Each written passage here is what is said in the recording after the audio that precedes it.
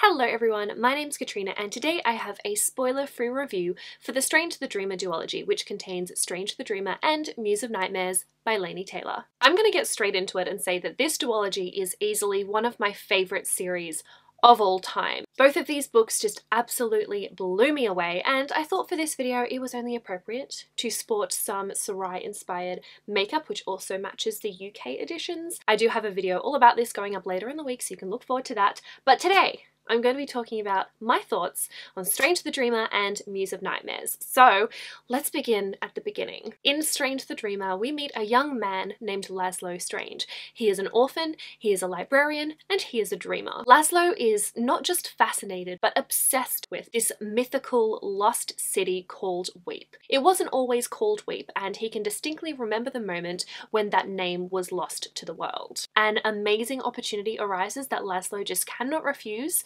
and the story starts from there. I'm going to leave it at that in terms of the synopsis, but this series contains so many incredible things. There's mythical creatures, gods, god slayers, warriors, criminals, and so much more. These books just take you on a journey through a beautiful and magical place, and from page one, I was just absolutely blown away by the writing style. The descriptions are so whimsical and vivid and colourful and musical and magical. Just to give you a taste of what you can expect, here are a couple of the descriptions that I tabbed when I was reading Strange the Dreamer. Mind traced the arabesques and coils of an alphabet that looked like music sounded. They were dark, small, and lovely, the exact purple of the lining of night, with the shot silk shimmer of starlight on dark water. Ugh. It just interweaves so many flavors and hits so many senses. It was one of the things that I first noticed and first fell in love with when it came to picking up Strange the Dreamer and even continuing on in Muse of Nightmares, I was just constantly wowed and in some cases left floored by the beautiful, beautiful writing style. It is very lyrical, filled with a lot of vivid descriptions and I loved all of it. In terms of what I thought about the story and the plot, I don't really want to say too much because I think that you really should jump into this series with as few expectations as you can. But what I will say is that whilst book one was a little bit slower in pace, it really stood out to me because of how it introduces us to the world and the characters and makes you fall in love with it all. And then with book two, the stakes are raised, tensions run high, and you're just sitting on the edge of your seat throughout most of the book as you're waiting to figure out how things things will end. It was really interesting as well because there were so many mysteries that were introduced in book one and then the way in which the revelations are handled in book two,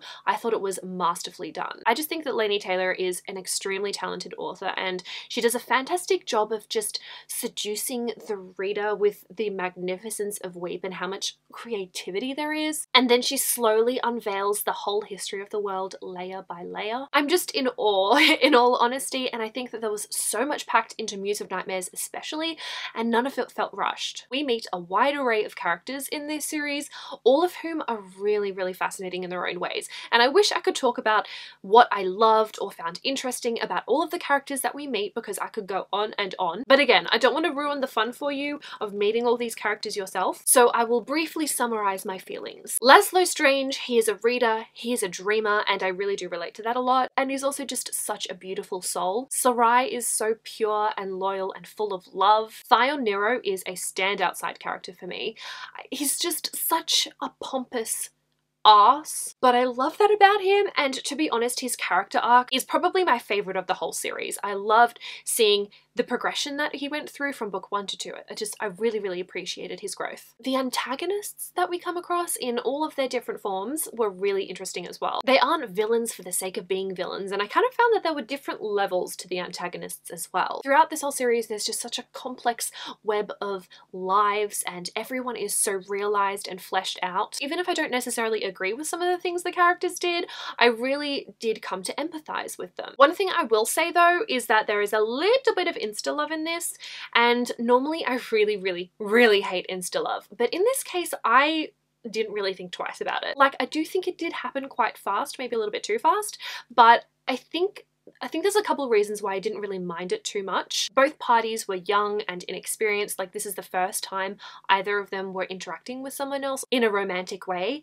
And then also the fact that the two characters are like thrust into each other's lives in a really intimate way. I don't know, to me it just made sense that their emotions were heightened because they got to know each other on a much deeper level sooner than other characters. I don't, I don't I'm not going to talk about details. I don't want to spoil anything.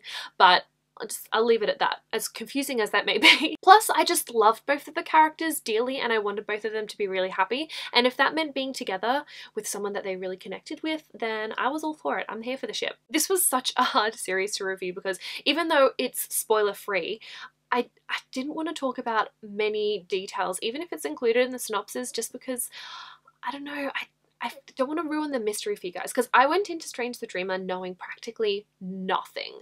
I might have read like a really brief blurb or a couple of sentences about this guy called Lazlo Strange who was a dreamer and that was like it. That's all that I knew and experiencing the whole story and learning everything, discovering all there is to discover without any preconceived notions of what this book would be about was such a great experience. So it's been kind of difficult trying to find a balance between not saying too much but also really trying to convey exactly how I feel which is hard when you're trying not to say too much. So I hope this review made sense. I feel like it's really hard to encapsulate my feelings about this series. I just can't stop thinking about this story, the characters, the world. I just bow down to Laini Taylor and her imagination. Like, I would love to step inside her mind and see how she comes up with all of the things that she creates in her stories. It's just, it blows me away. I find it absolutely incredible. Overall, both Strange the Dreamer and Muse of Nightmares were five star reads. I really loved the setup that we see in Strange the Dreamer, getting to know the characters and the world and just really taking the time to savor it all was beautiful and I thought that the way that things were resolved in Muse of Nightmares was really clever and exciting. Book 2 was definitely more action-packed and intense and I think that the two books really do balance each other out with the slowness and the intensity as well. It's just, it's just so beautiful. Can we also just take a moment to appreciate how beautiful these covers are and then these are like the US ones as well. I can't deal with the pretty. This has also been a really exciting week because not only is today the publication for Muse of Nightmares in the US and the UK, but in two days time Muse of Nightmares will be releasing in Australia. But I also have a couple of other videos going up later this week for Strange the Dreamer and then the read along, the live show, is going to be the last weekend of October if you guys want to join. It's gonna be a lot of fun. I think that about wraps up this review. I hope you guys enjoyed it, if it made some kind of sense. But um, I would love to hear your thoughts on Strange the Dreamer down in the comment section below. Please don't spoil anything for anyone. Thank you guys so much for watching. I'll see you very soon in a new video, but until then, I will talk to you in the comments. Bye!